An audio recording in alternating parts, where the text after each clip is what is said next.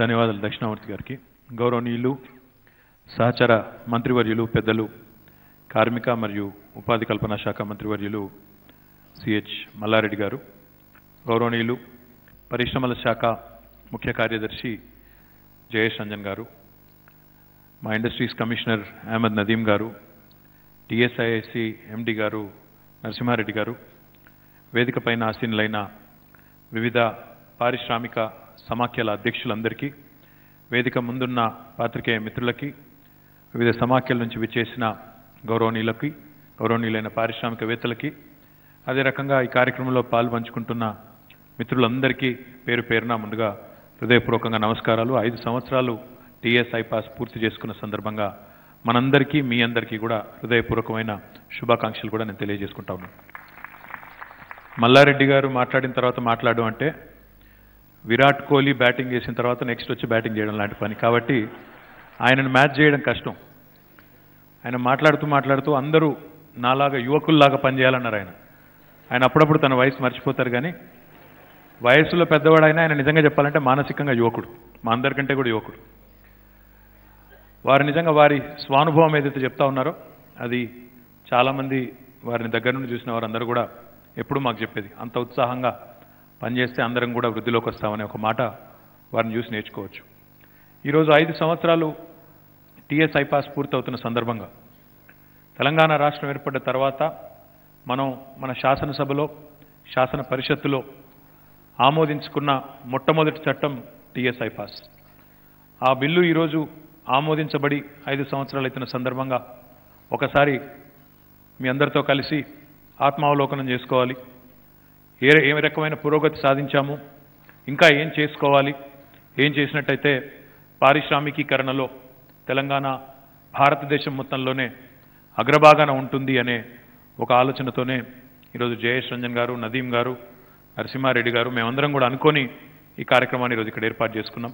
వచ్చినందుకు మళ్ళొకసారి గౌరవ కలెక్టర్లందరికీ కూడా పేరు పేరున వివిధ శాఖల అధ్యక్షులు కూడా వచ్చారు. వారందరికీ కూడా హృదయపూర్వకమైన ధన్యవాదాలు. ఈ టీఎస్ఐ పాస్ అనే చట్టం నిజానికి గౌరవ ముఖ్యమంత్రి గారి కేసీఆర్ గారి మానస పుత్రిక. ఆనాడు ఐటీసీ కాకతీయ హోటల్లో ఇంతకుముందు పెద్దలు శివకుమార్ రంగతా గారు చెప్పినట్టు దాదాపు ఏడు గంటల పాటు ఏక బిగిన స్వయంగా ముఖ్యమంత్రి గారు అన్ని సంఘాలతో అన్ని సమాఖ్యలతో వారి ప్రతినిధులతో సమావేశం ఆనాడు ఏర్పాటు చేసి ఏడు గంటల పాటు పరిశ్రమ యొక్క సమస్యలన్నీ తెలుసుకొని అర్థం చేసుకొని కూలంకషంగా చర్చించి వాటి పరిష్కారాలు ఏంటి అనేది కూడా అక్కడికక్కడే కొన్ని నిర్ణయాలు తీసుకొని మిగతా విషయాలను కూడా విశ్లేషించుకొని అన్నీ అర్థం చేసుకున్న తర్వాత వచ్చిందే ఈ టీఎస్ ఐపాస్ చట్టం. ఈరోజు ఈ చట్టం ఇంత సమర్థవంతంగా అమలు జరుగుతూ ఉంది అంటే తెలంగాణలో పారిశ్రామికీకరణ వేగంగా ముందుకు పోతా ఉంది అంటే దానికి ఖచ్చితంగా మొత్తానికి మొత్తంగా క్రెడిట్ ఇవ్వవలసింది గౌరవనీయులు మన ముఖ్యమంత్రి కేసీఆర్ గారికి అని చెప్పి సందర్భంగా నేను హృదయపూర్వకంగా మీ అందరితో కూడా వినవించుకుంటా ఉన్నాను ఆనాడు నిజానికి నేను పరిశ్రమల మంత్రిగా లేను. కొంతమందిని ఇక్కడ మనం గుర్తు చేసుకోవాల్సిన అవసరం ఉంది. ఆనాడు పరిశ్రమల మంత్రిగా జూపల్లి కృష్ణారావు గారు ఉన్నారు. ఆనాడు పరిశ్రమల శాఖ ముఖ్య కార్యదర్శిగా special chief secretary Pradeep Chandra గారు ఉన్నారు. ఇండస్ట్రీస్ కమిషనర్గా జయేష్ రంజన్ గారు ఉన్నారు. వీరందరూ కూడా ఆనాడు గౌరవ ముఖ్యమంత్రి గారి నాయకత్వంలో పరిశ్రమల శాఖ మంత్రిగా కృష్ణారావు గారు అదే రకంగా ప్రదీప్ చంద్ర గారు జయేష్ రంజన్ గారు ఇంకా ఇతరులు అధికారులందరూ కూడా కలిసి ఈ చట్టాన్ని రూపొందించడంలో వారందరూ కూడా కీలక పాత్ర వహించారు. వారందరికీ కూడా ఒకసారి కరతాల ధ్వనులతో చప్పట్లతో మనం ధన్యవాదాలు చెప్పాలని చెప్పి కూడా నేను మీకు విజ్ఞప్తి చేస్తా ఉన్నాను. ఒకసారి వర్తమానంలో ఏం జరుగుతూ ఉంది అని మాట్లాడుకునే ముందు భవిష్యత్తులో ఏం జరగాలి అని ఆశించే ముందు గతంలోకి కూడా తొంగి చూడవలసిన అవసరం కూడా ఉందని చెప్పి నేను ఒకసారి మీకు గుర్తు చేస్తూ ఉన్నాను. ఆంధ్రప్రదేశ్ రాష్ట్ర విభజన జరిగి తెలంగాణ రాష్ట్రం ఏర్పడే సందర్భంలో చాలా అపోహలు చాలా అనుమానాలు చాలా రకాల అపనమ్మకాలు ఇవన్నీ కూడా ఆనాడు తీవ్రంగా వ్యాపింపజేయబడ్డ పరిస్థితి. తెలంగాణ రాష్ట్రంలో పెట్టుబడులు పెట్టడానికి ఎవరు ముందుకు రారు ఉన్నవాళ్ళే తట్టాబుట్టా సర్దుకొని పారిపోతారు అనే పరిస్థితి. వారానికి రెండు రోజులు పవర్ హాలిడే. మనం సాధారణంగా సర్వసాధారణంగా రాజకీయ పార్టీల ధర్నాలు చూస్తాం. రైతులు కరెంట్ ఇవ్వమని ధర్నాలు చేయడం చూస్తాం.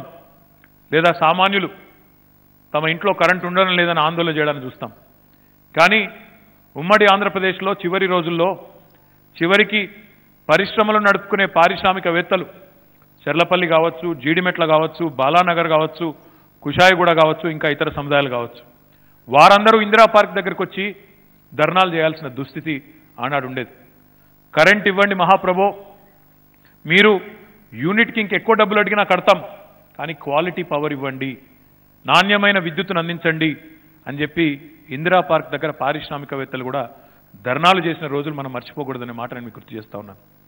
కానీ రాష్ట్రం ఏర్పడ్డ కేవలం మొదటి ఆరు నెలల్లోనే గౌరవ ముఖ్యమంత్రి గారి సారథ్యంలో ఎవరూ ఊహించని విధంగా ఆరు నెలల్లోనే ఈ విద్యుత్ సమస్యను అధిగమించి ఏం మ్యాజిక్ చేసినారు మీరు అనే విధంగా పరిశ్రమల నుంచి కూడా మెప్పు పొంది నాణ్యమైన విద్యుత్తుని. కేవలం ఈరోజు పరిశ్రమకే కాదు గృహావసరాలకే కాదు వ్యవసాయానికి కూడా ఇరవై నాలుగు గంటల ఉచిత విద్యుత్ ఇస్తున్న ఏకైక రాష్ట్రం భారతదేశంలో తెలంగాణ మాత్రమే అనే మాటను కూడా ఈ సందర్భంగా నేను మీకు విజ్ఞప్తి చేస్తా ఉన్నాను. ముఖ్యమంత్రి గారు ఎప్పుడు చెప్పే మాట ఒకటి. మన పారిశ్రామికవేత్తలు ఎవరైతే మన రాష్ట్రంలో పెట్టుబడులు పెట్టి మన రాష్ట్రంలో ఉపాధి కల్పించి మన రాష్ట్రంలో మన ఆదాయాన్ని పెంచేదానికి రాష్ట్ర ఆదాయాన్ని పెంచేదానికి కృషి చేస్తూ ఉన్నారో వారిని మీరు సరిగ్గా చూసుకుంటే వారి పట్ల మీ నిర్వాహకం సరిగ్గా ఉంటే వారే మీ రాష్ట్రానికి అతిపెద్ద బ్రాండ్ అంబాసిడర్లు అనే మాట ఎప్పుడు కూడా మాకు గుర్తు చేస్తూ ఉంటారు.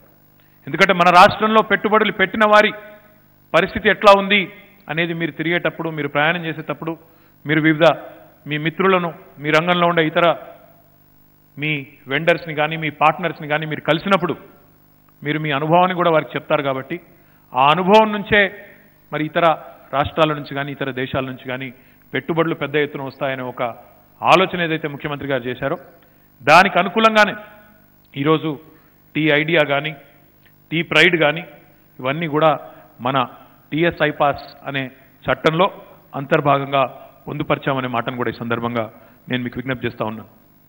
ముఖ్యమంత్రి గారి స్ఫూర్తితో మా పరిశ్రమల శాఖ కూడా ఒక నినాదాన్ని తీసుకుంది. ఇన్నోవేషన్ ఇన్ఫ్రాస్ట్రక్చర్ ఇంక్లూజివ్ గ్రోత్ ఈ త్రీ ఐ మంత్ర ఇన్నోవేషన్ అంటే నవీన ఆవిష్కరణలను ప్రోత్సహించడం.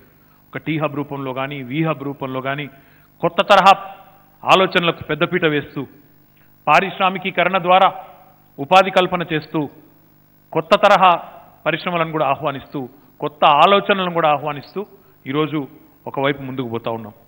ఇన్ఫ్రాస్ట్రక్చర్ విషయానికి వస్తే ఒకవైపు ఇరిగేషన్లో కానీ పవర్లో కానీ పెద్ద ఎత్తున ప్రాజెక్టులు చేపట్టడమే కాకుండా పారిశ్రామికీకరణలో కూడా. ఏపీఐఐసి అనేది పంతొమ్మిది వందల డెబ్బై మూడో సంవత్సరంలో ఏర్పడింది అనుకుంటాను. ఏపీఐఐసి ఏర్పడిన నాటి నుంచి రెండు వేల పద్నాలుగు వరకు అంటే ముప్పై ఒక్క సంవత్సరాలు. డెబ్బై మూడు నుంచి రెండు వేల పద్నాలుగు నలభై ఒక్క సంవత్సరాలు. మొత్తంలో తెలంగాణ ప్రాంతంలో ఏర్పాటు చేసిన పరిశ్రమల కోసం సేకరించిన మొత్తం భూమి ముప్పై వేల ఎకరాలు. డెబ్బై మూడు నుంచి రెండు వేల పద్నాలుగు వరకు. కానీ రెండు వేల పద్నాలుగు నుంచి ఈరోజు రెండు వేల పంతొమ్మిదిలో ఉన్నాం మనం ఐదేళ్ళు. నలభై ఒక్క సంవత్సరాల్లో తెలంగాణ ప్రాంతంలో ముప్పై వేల ఎకరాలు సేకరిస్తే తెలంగాణ రాష్ట్రం వచ్చిన తర్వాత కేవలం ఐదు సంవత్సరాల్లో నలభై తొమ్మిది వేల నలభై తొమ్మిది పార్కులు నలభై వేల ఎకరాలు సేకరించిన ఘనత టీఎస్ఐఐసికి దక్కింది తెలంగాణ పరిశ్రమల శాఖకు దక్కిందని ఈ సందర్భంగా నేను మీకు విజ్ఞప్తి చేస్తా ఉన్నాను. అంటే భూమిని సేకరించడమే గొప్ప కాదు.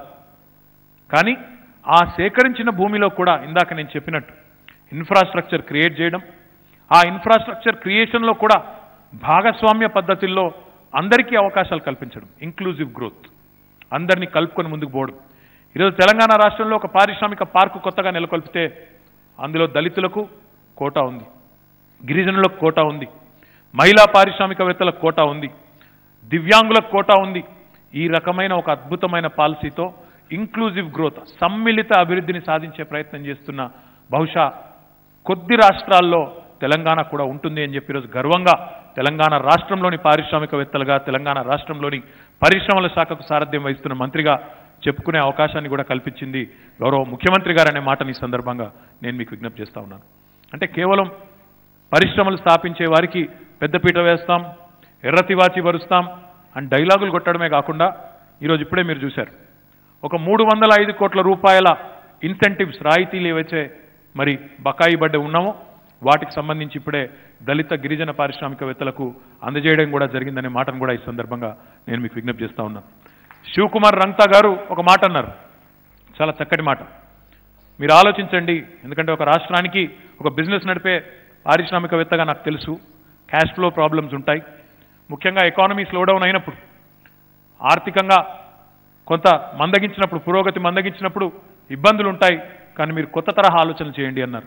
తప్పకుండా నేను మీ అందరికీ కూడా ఈ సమూహంలో కూర్చున్న ఈ వేదిక మీద ఉన్నవారికి వేదిక ముందున్న పారిశ్రామికవేత్తలందరికీ నేను మాటిస్తా ఉన్నాను. కొత్త తరహా ఆలోచనలతో మీ రాయితీలను తొందరగా చెల్లించే ప్రయత్నం కూడా తప్పకుండా చేస్తామనే మాటను కూడా ఈ సందర్భంగా నేను మీకు విజ్ఞప్తి చేస్తా ఉన్నాను. ఎందుకంటే మీకు వర్కింగ్ క్యాపిటల్ ప్రాబ్లమ్స్ ఉంటాయని మాకు కూడా తెలుసు. మేము ఎట్లా అయితే మా డిపార్ట్మెంట్ని రాష్ట్రాన్ని నడిపే ప్రయత్నంలో మాకు ఎలాంటి ఇబ్బందులు ఉంటాయో మీ పరిశ్రమ నడిపేటప్పుడు మీకు కూడా అవే ఇబ్బందులు ఉంటాయనే మాట కూడా మాకు తెలుసు.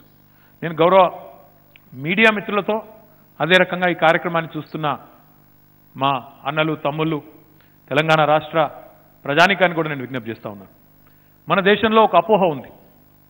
పరిశ్రమలకు రాయితీలు ఇస్తే అదేదో ఆ పారిశ్రామికవేత్తకే రాయితీలు ఇస్తున్నట్టుగా భావించే ఒక అపోహ ఉంది.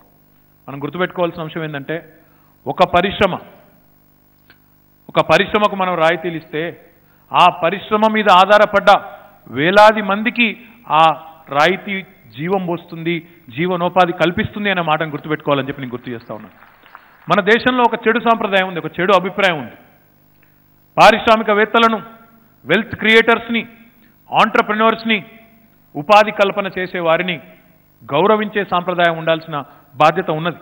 కేవలం కొంతమంది దుర్మార్గులు చేసే తప్పిదాలకి కొంతమంది బ్యాంకులకు చేసే మోసాలకి అందరినీ ఒకటే ఘాటన గట్టి చూసే పరిస్థితి ఉండకూడదు అనే మాటను కూడా ఈ సందర్భంగా నేను మీకు విజ్ఞప్తి చేస్తా ఉన్నాను ముఖ్యంగా పెద్ద పారిశ్రామికవేత్తలు మెగా ప్రాజెక్టులు ఏవైతే ఉన్నాయో ముప్పై శాతం మందికి ఉపాధి కల్పిస్తూ ఉంటే చిన్న మధ్య తరహా సూక్ష్మ పారిశ్రామికవేత్తలు ఎంఎస్ఎంఈ డెబ్బై శాతం మందికి భారతదేశంలో ఉపాధి కల్పిస్తున్నది వారు అనే మాటను కూడా ఈ సందర్భంగా నేను గుర్తు చేస్తా ఉన్నాను. అట్లాంటి వారికి రాయితీలు ఇచ్చి ఎప్పటికప్పుడు మీకు వర్కింగ్ క్యాపిటల్ సమస్య లేకుండా క్యాష్ ఫ్లో సమస్య లేకుండా చూసుకోవాల్సిన బాధ్యత. ఇటు ప్రభుత్వం మీద అటు బ్యాంకింగ్ ఇన్స్టిట్యూషన్స్ మీద ఫైనాన్షియల్ ఇన్స్టిట్యూషన్ మీద కూడా ఉందనే మాట మరొకసారి మీకు గుర్తు చేస్తూ మేము గుర్తు చేసుకుంటూ సాధ్యమైనంత వేగంగా దానికి కూడా పరిష్కారాలు వెతుకుతాం. నేను జయేష్ గారు నదీం గారు అనే మాటను కూడా మీకు మళ్ళొకసారి హామీ ఇస్తా ఉన్నాను